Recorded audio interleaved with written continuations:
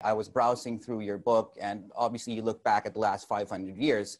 You know, it was the currency of the superpower in place that was the reserve currency. Back in the 1930s, last century, a couple of well, about 100 years ago, you know, it was sterling, then it went to the U.S. dollar. How does that all inform you of what happens to the U.S. dollar next?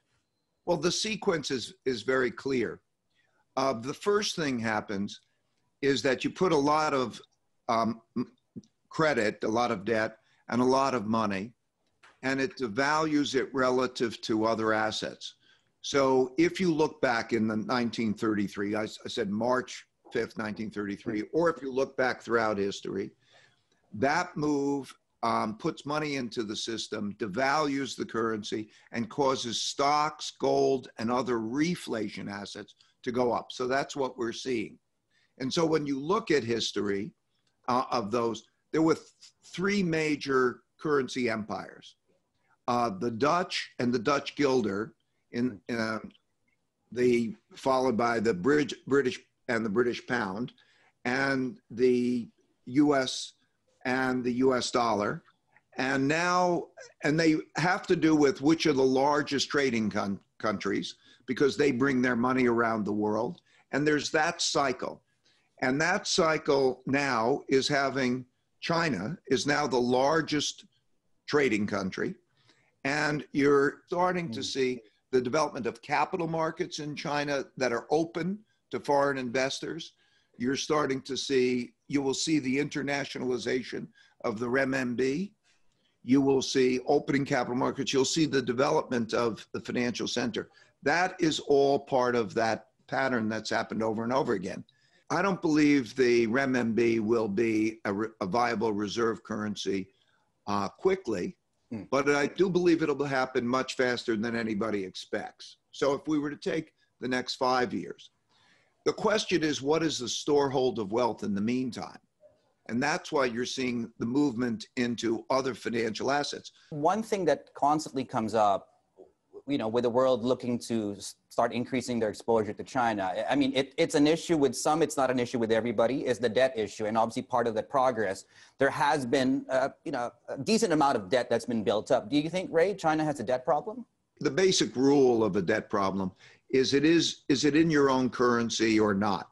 If it's in your own currency, there are lots of ways of dealing with it you know you can uh, you can restructure it you can monetize it. If you take a debt typical write down of debt is something like 30 or 40 percent. If you take that debt you put it on the government's balance sheet and you write it down at 2% a year it's it's not a problem. You renegotiate the interest rate. If you can control it in your own currency it's all manageable. And um, Japan is a good example of that so, no, I don't believe that it has an uh, unmanageable debt situation. Do you think the policymaking structure, one party system, to a large extent, the, the, low risk that policy does not change every couple of years, do you think that sets China or gives China an advantage over the United States? Uh, it certainly means it certainly has a, a, lot of benefits, right? It has the benefit of, um, first of all, um, you they can hire um, quality leadership. Um, it's not a random popularity contest, um, and then it's run, I would say, like a company's run.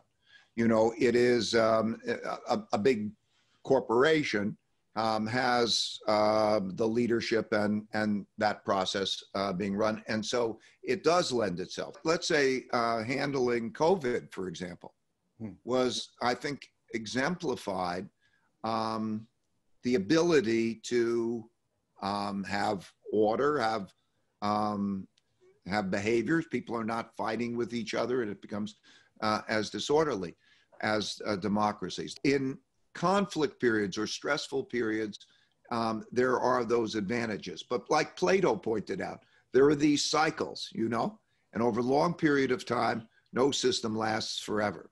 You mentioned earlier that the world is structurally underweight China. How do you make that work, and how do you make that work without overstepping, obviously, into parts of the market that perhaps in China that aren't as mature yet? When I look at China um, and the opening up of the markets, I do know that um, I have to have a significant portion of my portfolio there, just like I have to have a significant portion in the United States and so on. But the interest rate differentials are favorable, the growth rate differentials are favorable. A big element is going to be order, um, internal order. Um, so far, that's pretty favorable. Um, so when I look at it, um, um, I, uh, you know, I, it's that element of diversification and then make the comparison. I'd much rather own, uh, for example, Chinese bonds than to own U.S. bonds. Uh, um, the currency, I think you're you're going to have favorable capital flows as they open up. So for those reasons, tactically as well as diversification wise, um, I would do that. But uh, it's not just in China and the United States. There's a whole world out there. In, in the Asia Pacific region,